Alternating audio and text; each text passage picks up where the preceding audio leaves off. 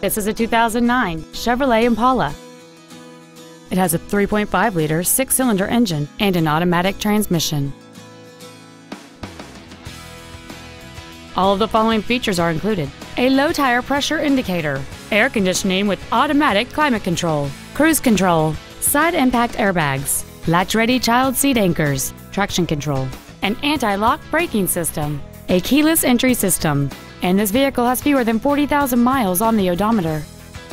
With an EPA estimated rating of 31 miles per gallon on the highway, you won't be making frequent trips to the gas pumps.